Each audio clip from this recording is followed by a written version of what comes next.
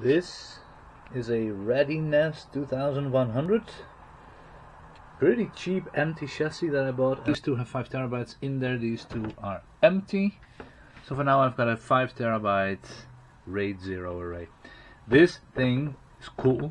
Um, it comes with ReadyNAS 4, which is horrible and doesn't recognize a lot of drives, but you can figure out how to flash it to ReadyNAS 6, which is cool, modern, recognize pretty much every drive, has everything, apps and FTPs and VPNs and whatever you need and a lot of stuff you don't need. I like it. But it is loud.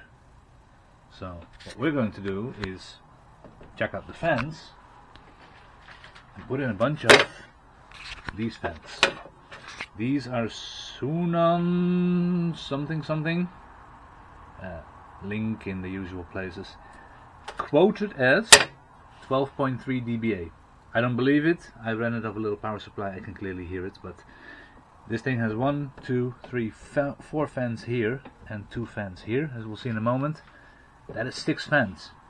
12 dBA times 4 is 18 dBA plus two more let's say it's going to be roughly 20 dBA that should be below the background noise of this street noise you hear right now. This thing will be quiet. Um, right now it is too loud to have in the room uh, and do any other stuff. It's just this is for a server rack. It's a great reliable machine. It hasn't failed anything. No software fails. It's super reliable. It's pretty fast if you put in the right drives. It's just loud. And I can't have it. So here we go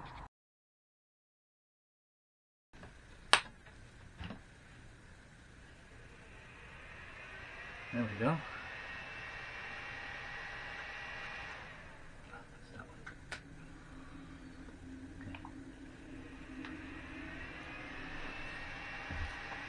That is how loud it is. Obviously these fans will calm down after it's booted.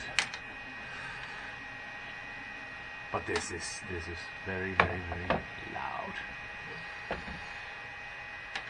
Voltage.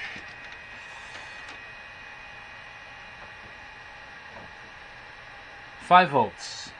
Wah, wah, wah. These are 5 volt van, 5 volt fans. These fans are blowing outwards.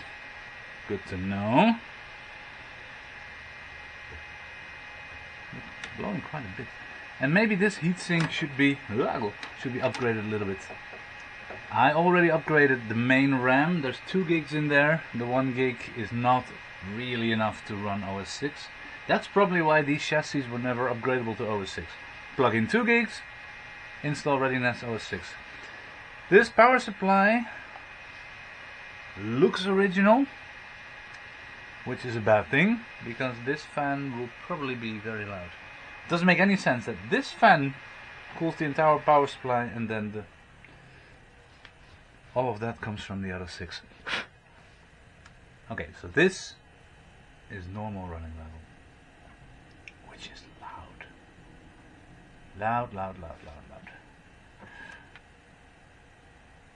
I want to see if the 12 volts actually goes off when I switch the unit off.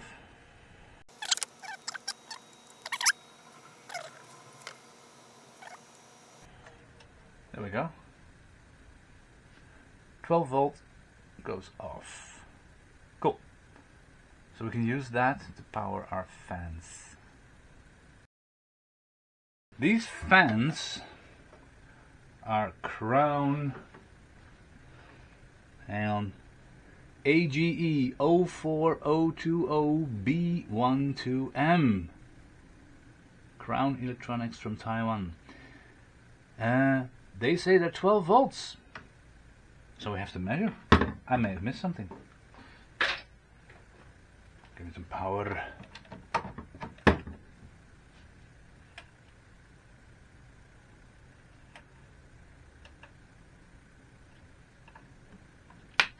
But that sound is not good. I don't like that sound.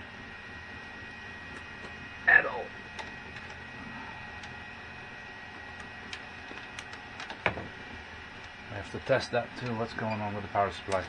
This power supply is known for blowing up, so we may want to replace it while we're in here.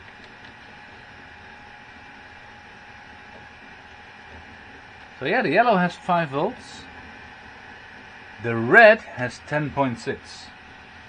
Also there is only 4 mounting holes for two fans, where of course I might get in trouble not being able to fit 4 fans side by side. So. And look, now I've got a voltage of 4. Interesting. So the PWM is actually on here.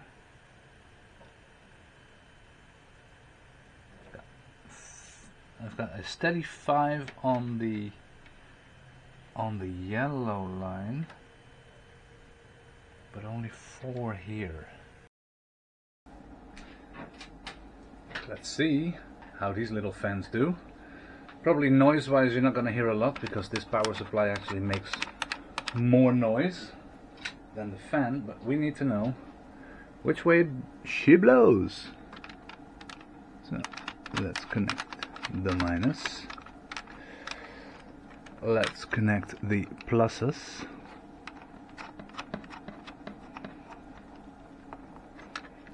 Here we go. Whoop-de-doo.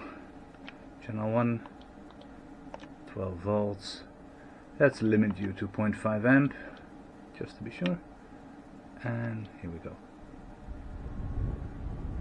Do you hear that? Nothing. Air comes out this side towards you from the label. So because we want these fans to suck the air out of the enclosure, the label has to face to the back of the NAS.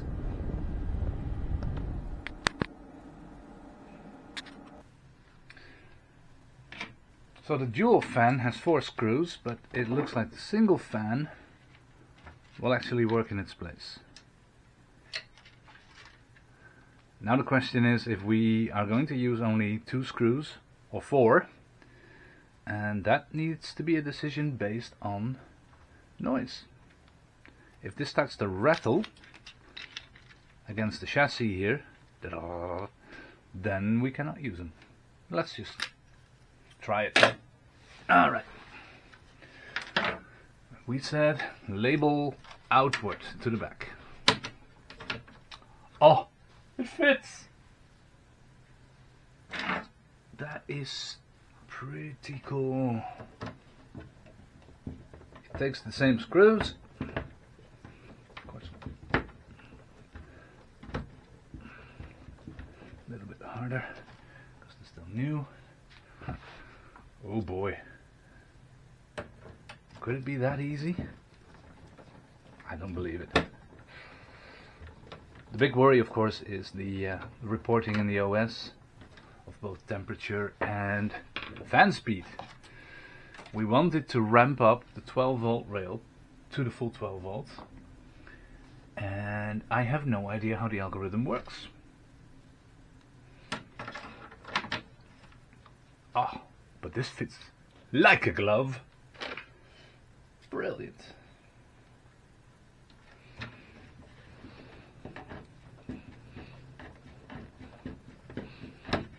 That is actually pretty cool.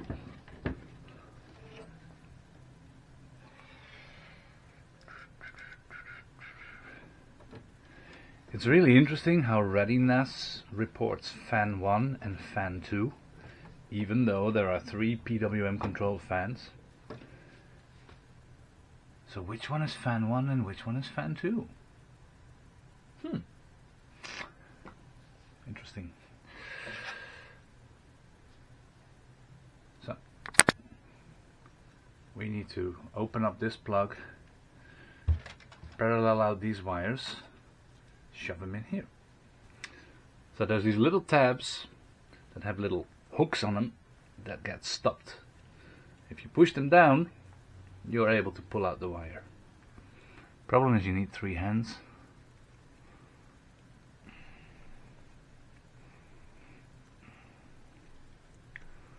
Maybe four. There you go. That's how you take them out.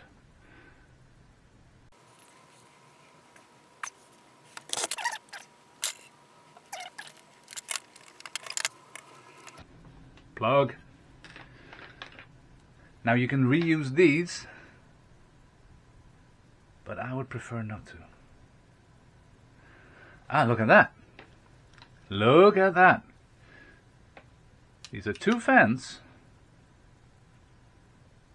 but they're being soldered here. This one only gets power. And this one indicates its uh, RPM on the yellow wire. Now I get it. That is interesting. So what we should have done is just pull all the yellow wires and then we know what the system does when it doesn't know the RPM. But what we're going to do instead is do the same thing that they did here. We'll actually slice this open because this is probably soldered here which means we could have left this on just unsolder it here in fact let's open it right now Watch me cut myself on camera. This is going to be cool.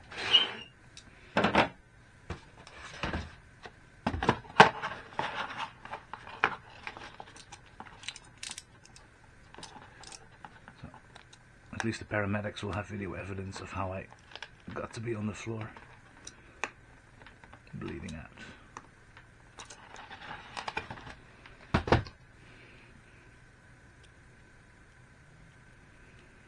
This is incredible.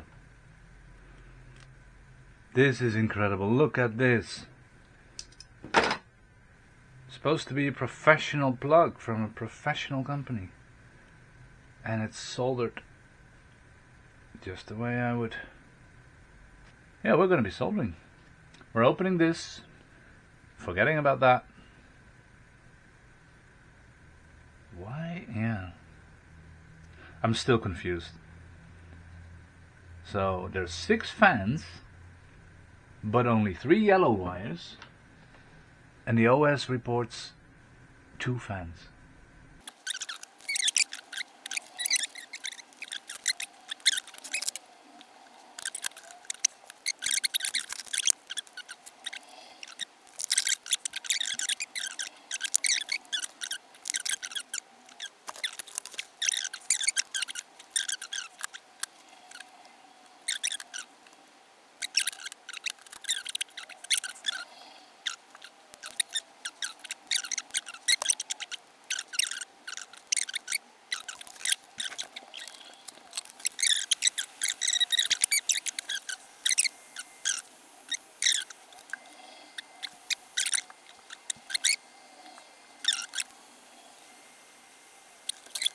So now the question is if we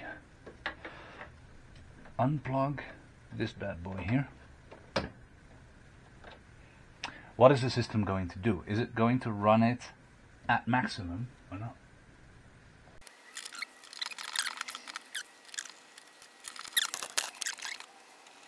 Alright, so this is our newly built non-PWM fan interesting. All these headers say three. Three, three, three. Which doesn't make much sense. Because the OS shows you fan 1 and 2. They do run. So they're running at full tilt I'm going to say these two and these two output roughly the same air. Here we go.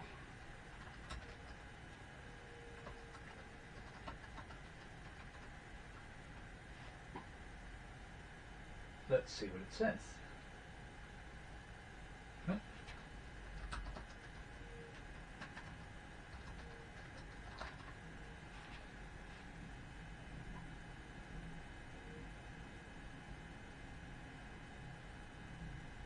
Performance. Fan 1 is not working. UPS warning and UPS not connected. Fan 1 is running at 0 RPM. Fan 2 thinks it's running at 7500 RPMs. Interesting.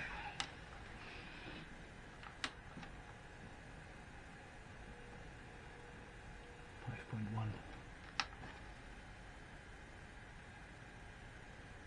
Need to output a little bit more, boy. This is actually the loud fan now. I'm gonna pull this plug and see what the OS reports.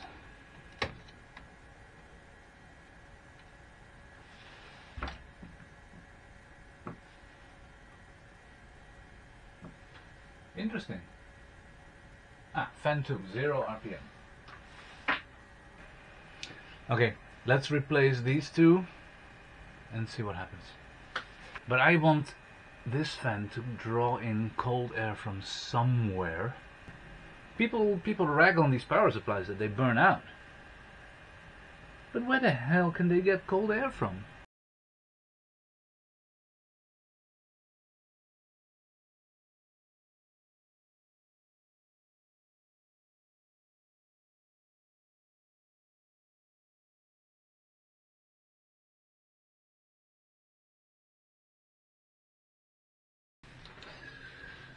Okay, I think I found out how the airflow goes. So, all six of these fans are sucking air out of the drive.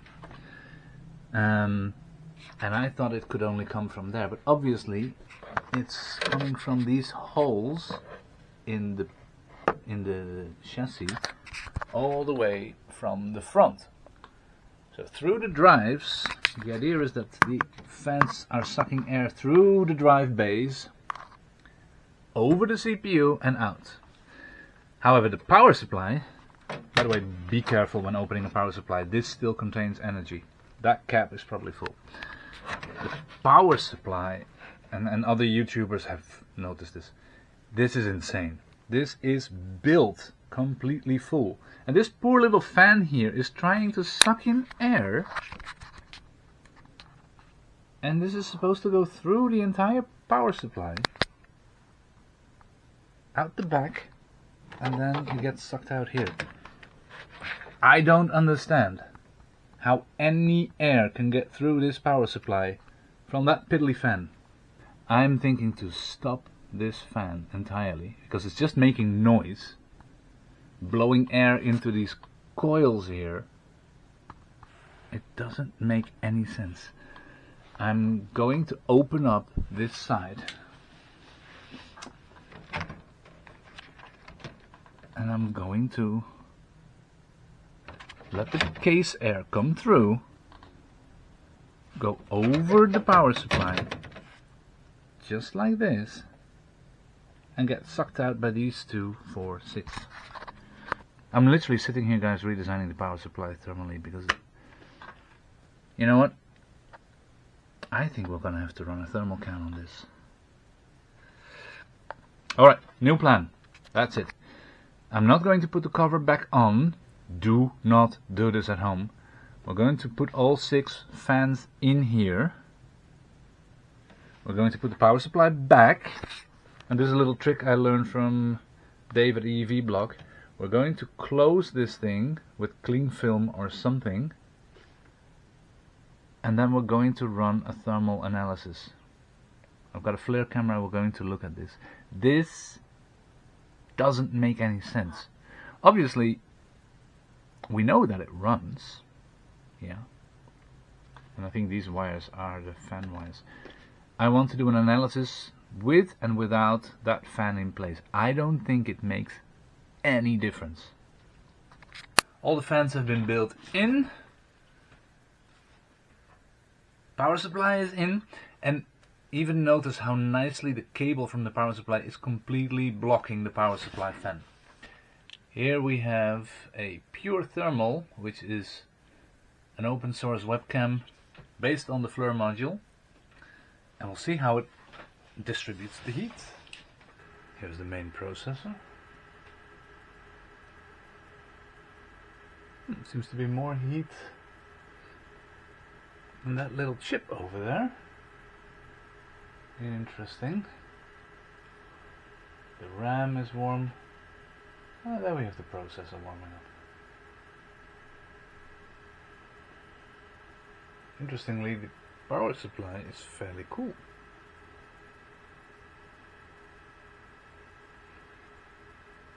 Hmm. It's still booting, the LED is still blinking. So I can't log in yet. Do we see cool spots around the fan? Not really.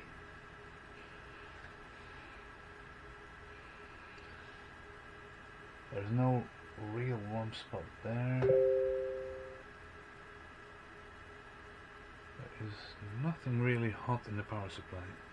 I suppose the power supply gets a lot hotter if you would actually have one, two, three, four drives in the bay.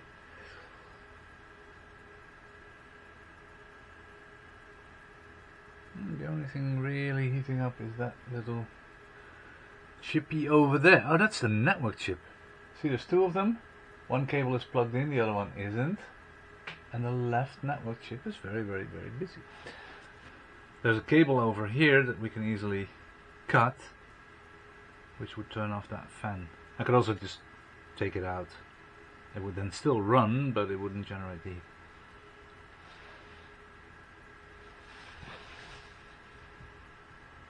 I want to know where the sound comes from, really.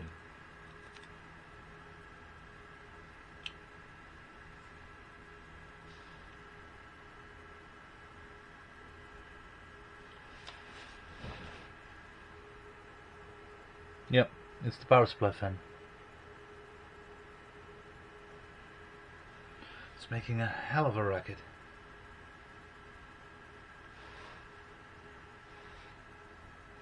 These fans are quiet. The air coming out is warming up. I mean, the fan is obviously keeping its immediate area cool, but it's it's sucking in nothing but maybe even lukewarm air. So.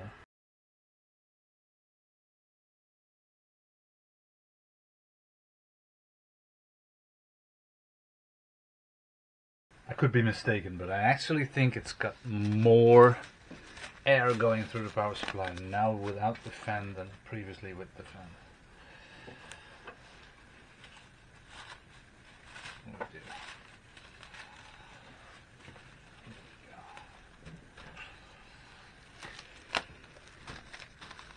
Oh.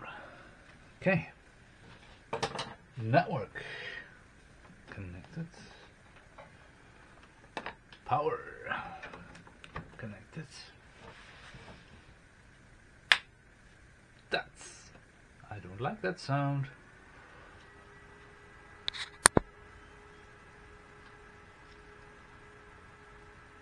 Oh, that's a lot quieter, isn't it? So yeah, that loud fan was the power supply fan. These are my 12 dB fans. Still fairly loud.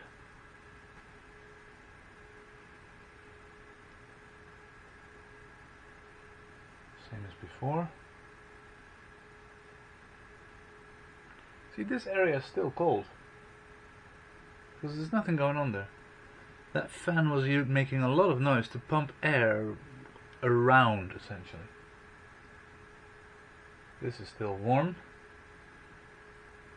I've seen videos of other power supplies on the internet where all the caps were popped. These seem to be okay.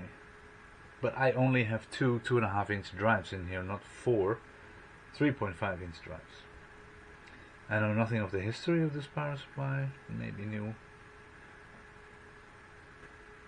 Fans are not working. No.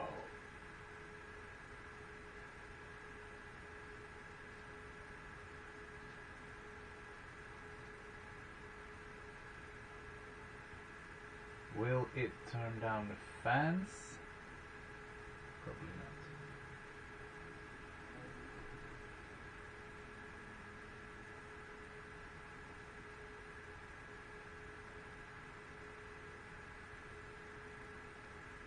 Well, temperatures in the system are pretty much the same as they used to be before. Move this over here.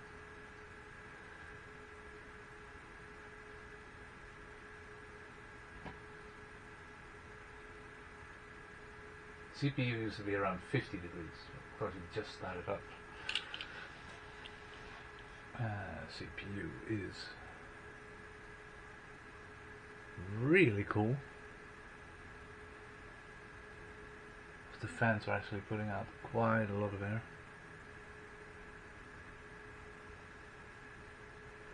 I may have to repin them to 5 volts. Compared to that, the power supply is a lot warmer. CPU 30 degrees. Whatever that is, 33.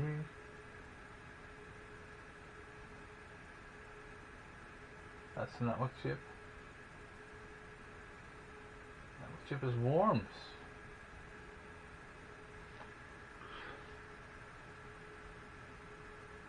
Power supply is 30 degrees. Not a problem.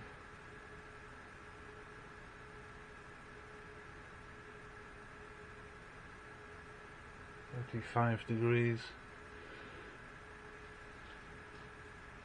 So really the only thing that's extremely hot in here is our network chip. I would have thought. So what I think we'll be doing is turning these fans down just a little bit. Yeah. The air coming out here is it's just not. Alright, it's the next day. I have put a few grommets behind the fans to decouple them acoustically from the chassis. That didn't seem to do very much. But you can see here that uh, we've been running for a good four hours now, three and a half, four hours. Temperatures are very stable and way below what I'm used to. Um, so that means that these fans are actually currently moving a lot more air than I used to before. Uh, power supply is at 42 degrees. System itself it's doing very well. Network chip is probably hot. The air coming out is, is essentially cold. That's room temperature obviously I decided to test this all in winter I should have done in the summer but that's an ambient difference of about 10 maybe 20 degrees the only thing I'm really worried about is this power supply but it's Power supply is at 40 degrees. Um, so I don't think we're missing this fan over here. I really don't. That fan couldn't get any air in. Um, all we really miss now is the sound of the fan. But clearly that side of the power supply is using the most power, or actually dissipating the most power. And um, I think we're gonna have to try to put the fans down to 5 volts and see how many decibels we get in that case. 50 directly at the outlets.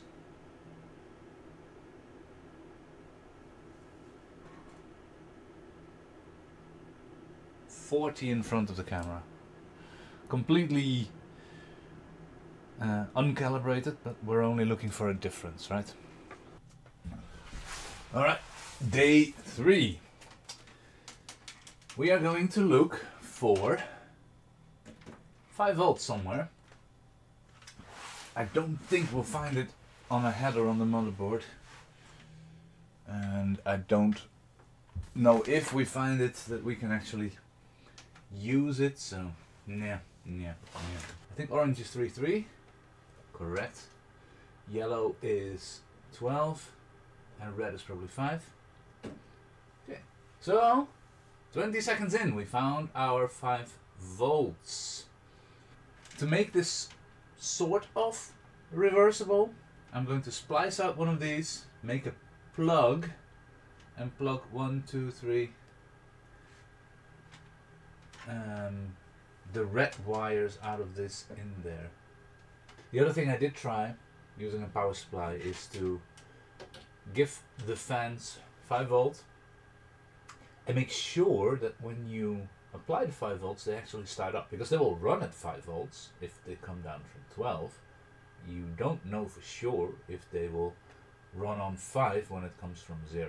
So they need a little extra current to start up, and that appears to be no problem. Ah, by the way, this black thing here is a temperature sensor. Interesting. Interesting. Interesting.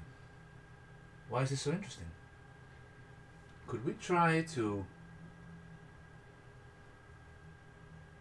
drive the fans from the original fan controller? They are temperature controlled. And it's a, oh, it's a two pin fan. What if we control all six of these from the power supply? Question is, the power supply can actually drive six of them rather than one, but yeah, we should try this. Here, 8.2 volts.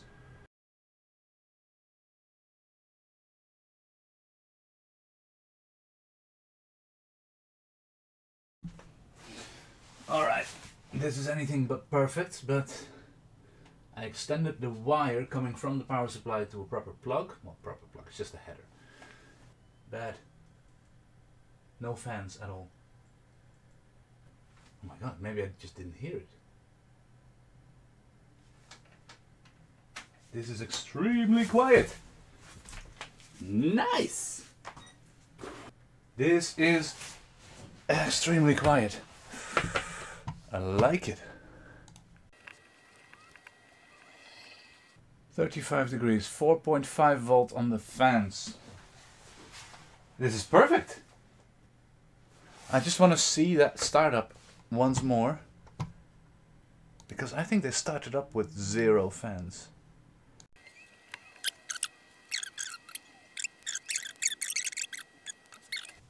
As you can see, the network is still on. And this machine supports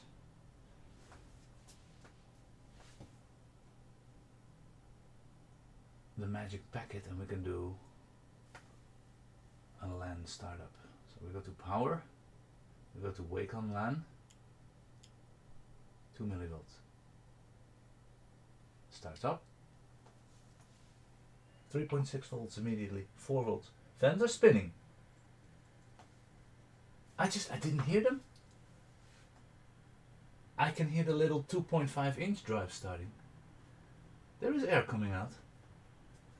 I can hear the 2.5 inch drive spinning over there in the enclosure. I cannot hear the fans at all. Look at that. 34 dB. That 34 dB is other background noise. It's actually not this thing.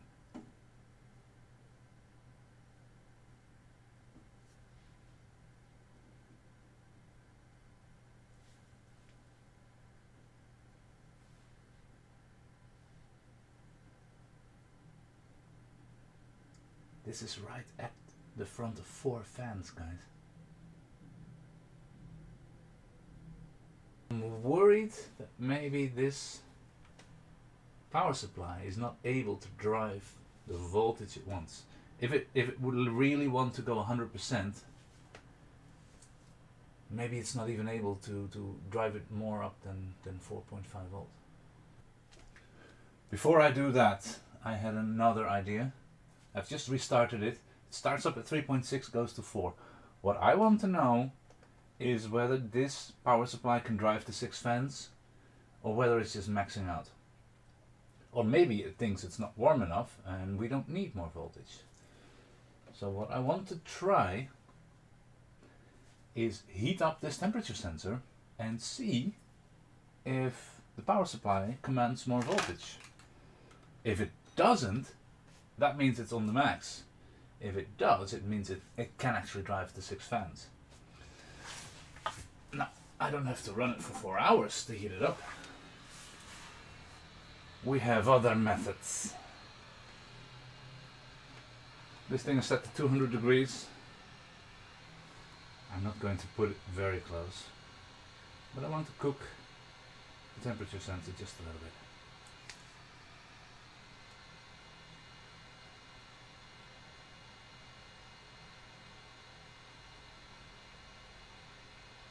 For 50, for 60, for 70, for 80, for 95, 2, okay. Okay, look at that, 6 volts. It can do 7 volts. Good news, everybody. 8, 5. 9. Fans are spinning up. Damn. Can we do 10 volts? Great. I can hear the fans.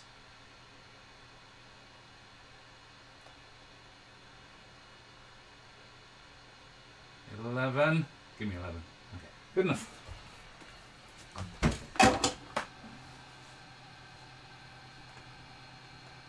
Result. We just proved that this works.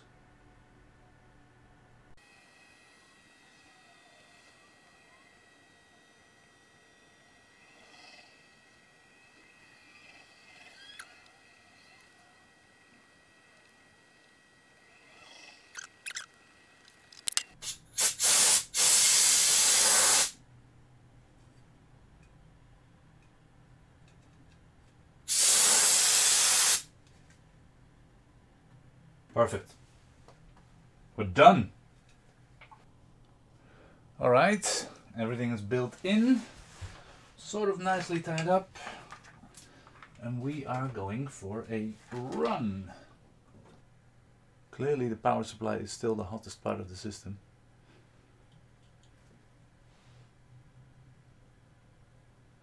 Thirty degrees, come on man. We have a CPU temperature, 49 degrees, system 34. That is roughly the same as I had before. 35 degrees power supply, 37 main processor, stop calibrating it what, 45. FLIR says 45. And the NAS itself says 49. And then we're going to box up the power supply, which means the power supply will get hotter. When the power supply gets hotter, it will run the fans just a little faster. And that might be good for our CPU.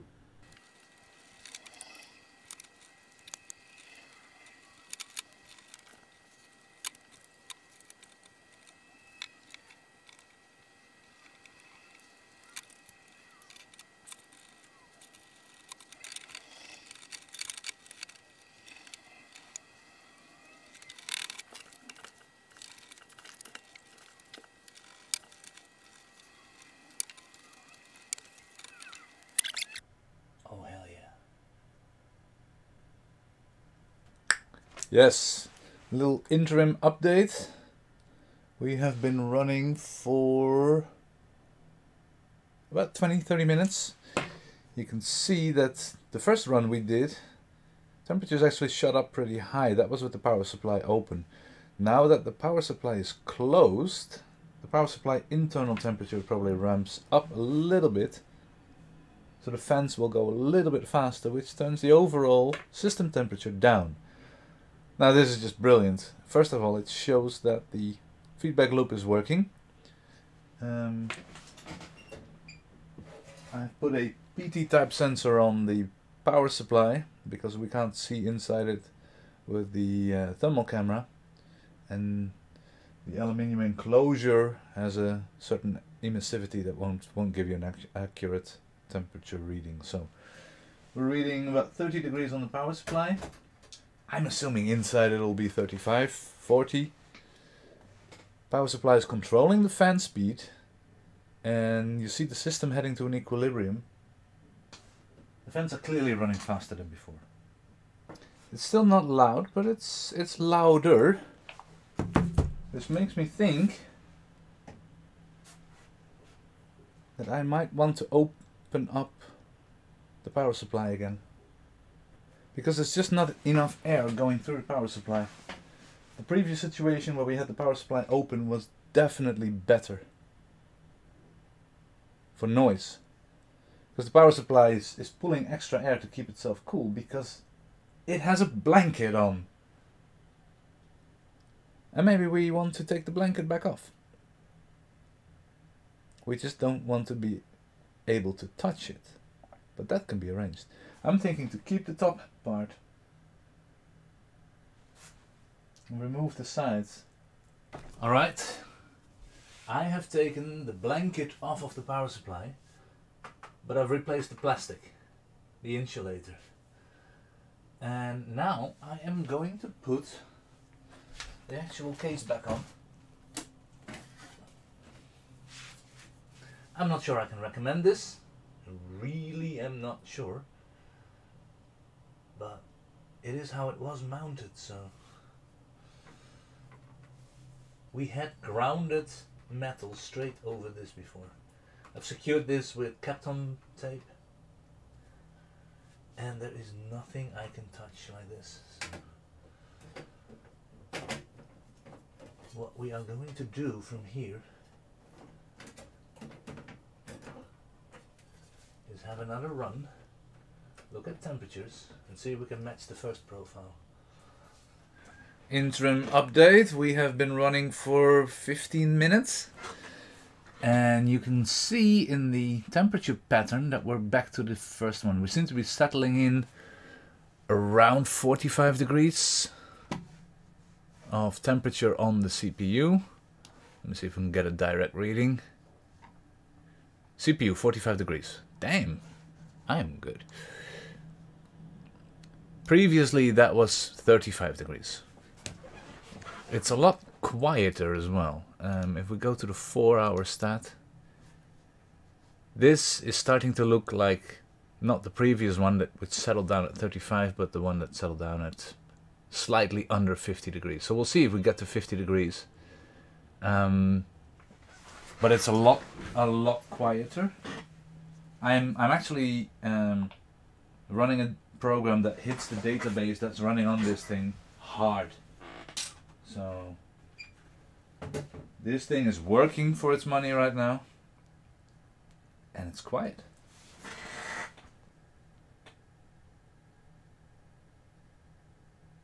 We're at 39 degrees. Uh, sorry, 39 dBs. The air coming out is reasonable. So what I'm going to assume here is that we are not only running quieter than before, we are now running cooler than before. Alright, I have closed everything up. Obviously you can see that the uh, the power supply cover has not been mounted. There was a plastic piece under it that I did mount to the top of the power supply. So under here is a plastic layer and then the electronic components. This thing will not flex and even if it does, it won't hit the power supply. Having said that, is this something I recommend? Is this something I recommend? Probably not but I want quiet. And I want the power supply to live longer. You see a lot of these power supplies on the internet broken. I'm only running two 2.5 inch drives. That's not a lot of power. Um, although I assume that most of the power goes to the CPU. Maybe not even. Anywho. I'm going to be running a long-term uh, benchmark. I'm running a database tool which is essentially hammering the two drives in here. They are under constant load and we'll see what it does overnight.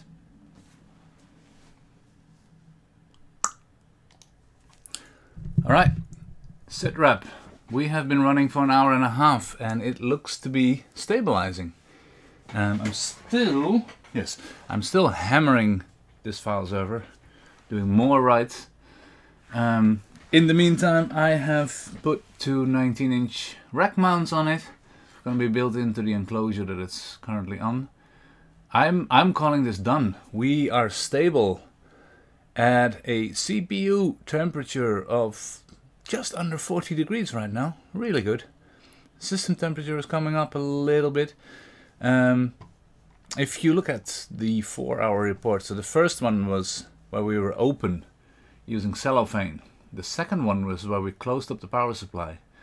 You see the system temperature, um, sorry, CPU temperature was just about the same. No, it's system temperature, sorry. CPU was the same. System temperature was running cooler. Um, and you would think it's better, but that was because we covered up the power supply, so the power supply was getting hotter. So actually, um, now the power supply is running cooler, but you're looking at system temperature that seems to be hotter. Um, and I'm going to assert that keeping the power supply cool, cooler, is a good thing. Um, you see how many of these power supplies have grenaded themselves, and um, that is because the fan in the power supply is really completely useless. And it was probably running faster than it should be. So, I'm about to conclude this thing. I'm, I'm gonna call it completely done. Um, it's getting put into the rack and it's going back into service. What are the conclusions we can achieve from this? One, uh, the first conclusion is for Netgear. Netgear, of course, you buy a power supply straight from the manufacturer, but this is not how you include it in the system. Yeah, um, you don't give it any possibility to breathe. You let it suck in hot air through a cable that is completely blocking the inlet. So that fan was pumping around hot air. Um, it wasn't doing anything. Second conclusion, manufacturer of the power supply. What the hell were you thinking? That this one hasn't grenaded himself is a miracle because check YouTube, check the internet. There are many, many, many people who've had to replace the power supply because it grenaded itself. Why does it grenade itself? There is no air path through the thing. Completely not. And then there's this, this tiny little fan, which I'll grant you at a high RPM can move some air, um, but that A makes it super loud, B it's still not effective because this air runs into a million capacitors and never gets to the transistors that are actually doing the hard work. So the whole thing just heats up. And the only thing I've done now, um, no, I've actually done two things. I've removed the fan that doesn't really do anything um, because this is a compound problem where the power supply manufacturer hopes that the little bit of air that the fan sucks in is going to cool this this jungle of components with no air path through them. But then Netgear is good enough to let you suck in hot air straight from the CPU um, through a cable bundle that is also blocking it. So the fan is blocked on the outside and the inside. I mean, this is a complete catastrophe.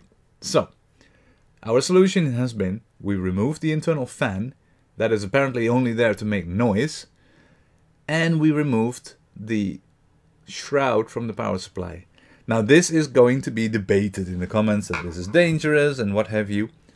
Um, we can we can debate that all day long, but I think that a power supply that grenades itself and shoots capacitors all through and takes out the building fuse is potentially a bigger problem than covering it with a plastic shroud and another metal box and obviously not keeping it open for people to touch it. Um, we all know that power supplies can really shock you and most of us in electronics have experienced this firsthand. Yeah, um, I don't like it. What I could do, I could take the metal shroud and I could drill a million holes into it and it would let air through but, you know, you could also say that in that case you can still touch it. Yeah. Plastic on the inside then also needs to be perforated. Um, I think the solution works. I'm going to put it in a rack. Nothing is going to be put directly on top of it. Nothing is going to push on the metal cover and push it down. Um, so this is going to be safe. And um, the final conclusion is that you need to analyze these things. You need to measure everything. And I'm I'm putting emphasis on this conclusion because I need to justify to myself why I buy so much measurement equipment. There are clear differences. We have entirely optimized the airflow. We have put fans in there that are quieter and when ran at a lower voltage are as good as inaudible. And I think the biggest win is that we still have thermal control by using the control signal for the power supply's internal fan. Um, and I would go as far as to say the power supply can control its own temperature better now, now that it has six fans and actual airflow through it. And with that, I think I've praised myself enough now. I thank you for your time. This is my first video. Be gentle in the comments. If you're gentle and nice, I might actually do more. I kind of like this. See you later.